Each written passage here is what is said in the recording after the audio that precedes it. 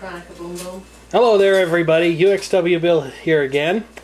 And look what we have here. I just can't stop carbonating things. I'm a very sad life form, and so ignoring the admonition printed in the back of this thing not to carbonate anything but pure water, I'm to try orange juice and see what happens.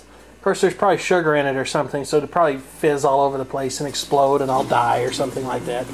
So let's see what happens here. Oh yeah, it definitely fizzed up a fair bit in there.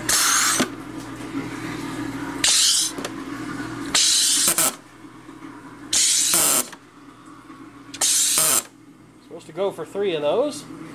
Take it down off there and see what happened here in a moment. So let's see, was it a good idea to carbonate this? Oh, that's going to make a mess too.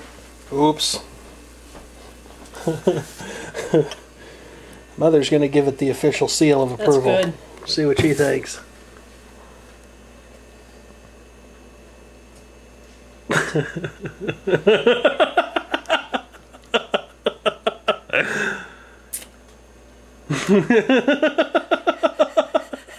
Really, really give your tongue a thrill.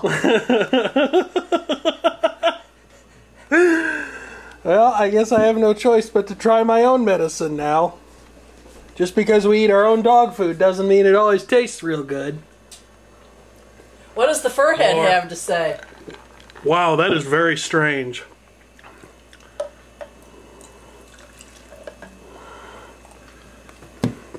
He said more, so I think it may get the uh, Nozdrovia.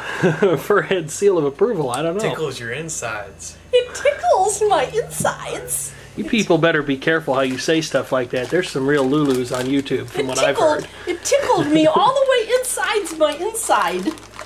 Just wait. Just wait till you have to go pee. It'll fizzle right out. Fizzle in the tizzle. It'll give the lizard a whole new meaning. okay. Makes my tongue feel funny. What'd you put in there? Nothing.